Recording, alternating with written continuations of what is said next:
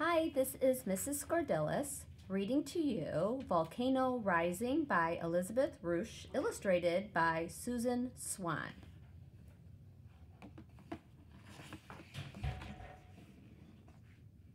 Kaboom!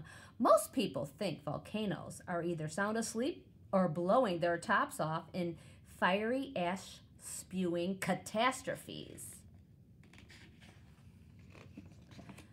But volcanoes are not just disruptive. Much more often, volcanoes are creative. They grow taller and wider. They form majestic mountains and they build new islands where there were none before. Both creative and destructive eruptions start with gooey melted rock called magma. Magma from deep in the earth rises up a gigantic straw-like tube to a vent or opening. If magma makes it to the earth's surface, it's called lava.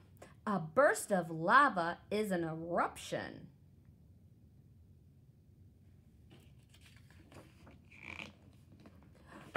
Pow! Gases blast lava out in an explosive eruption. Hiss! Gases and lava slowly seep out in a creative eruption. Gas determines whether an eruption creates or destroys. Rising gas pushes lava out of a volcano. In destructive eruptions, gases get tapped, trapped inside thick magma or are blocked by plugs in the vents.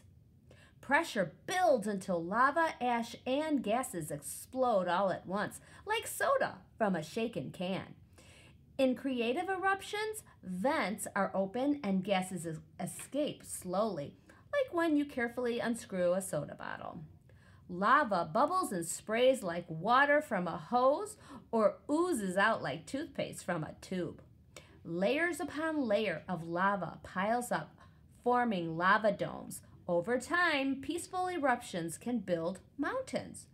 Creative eruptions occur three times more often than violent ones. They happen all over the world in all kinds of different places.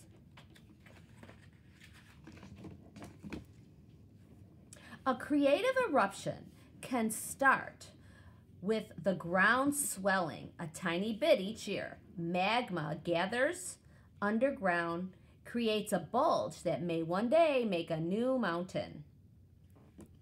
In the Cascade Range in central Oregon, three composite volcanoes, massive cones made from layers of both lava and ash, sit in a tight cluster as if having a tea party. They're called the Three Sisters, North, Middle, and South Sister. But wait, what's this?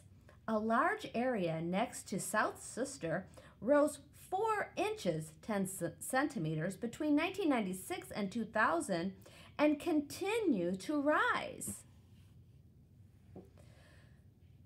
This uplift is called is caused by magma pooling a few miles under the surface. Scientists think a new volcano, West Sister, may join the party sometime, giving us yet another spectacular mountain to explore.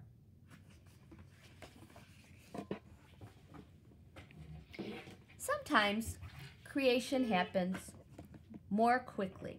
Volcanoes can appear out of nowhere. One day, the ground cracks and ash spurts out, forming a new volcano.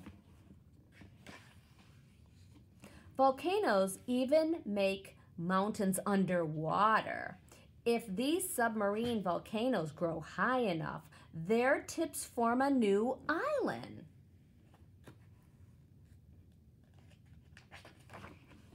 Some volcanoes secretly erupt under glaciers, hiding growing mountains deep under thick ice. Grímsvötn Islands, um, ice, sorry, Iceland's most frequently active volcano lies beneath the country's largest great glacier. Vatnajökull, with only a bit of its rim exposed. Underneath, the vast ice caps is a hot spot, a place where lots of magma from Earth's mantle rises to the surface. This makes for a very creative volcanic environment, causing Iceland to constantly grow in size. Creative eruptions can continue for a really long time. Whoosh! Fountains of red lava squirt high into the air. Gurgle, stinky lava screams to the shore. Fluid lava hits the ocean, steaming and harden, hardens to form new land. Most volcanoes have both disruptive and creative eruptions. Wham! They blow their tops, they spurt, gurgle, and scrape. They get down to business of building a new dome. Kaboom! Kabam, bam, boom! Even the most dangerous volcanoes, super volcanoes, can do creative work. Between gigantic eruptions, they can erupt gently for many years, repairing the scarred land. Hundreds of thousands of years ago, the Yellowstone supervolcano had three gigantic eruptions that blanketed most of the United States with ash. So much magma exploded out from underground that the surface collapsed, swallowing mountains and create, creating a gigantic crater called a caldera.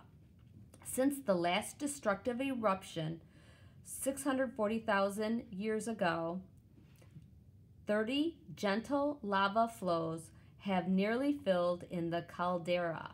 Some of these lava flows have been thick and widespread, as large as 130 square miles, twice the size of Washington, D.C. But the flow oozed slowly, moving at most a few hundred feet per day, smoothing out the land over thousands of years. To save roads, houses, and harbors, people have tried to stop creative eruptions, but even gentle lava flows are hard to halt.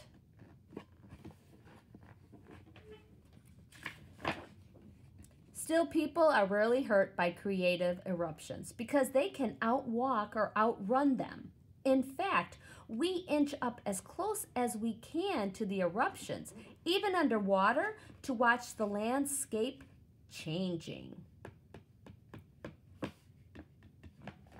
Scientists sent underwater robots to hover feet from submarine volcanoes observing ash and pillow lava pulsing from the vent, waiting for an, an island to be born.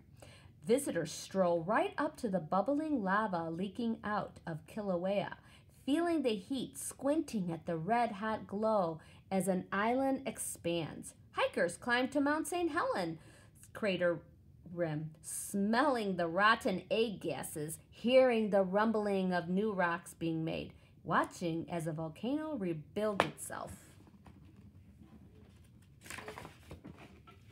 Creative eruptions give us all a chance to witness the power of a volcano rising.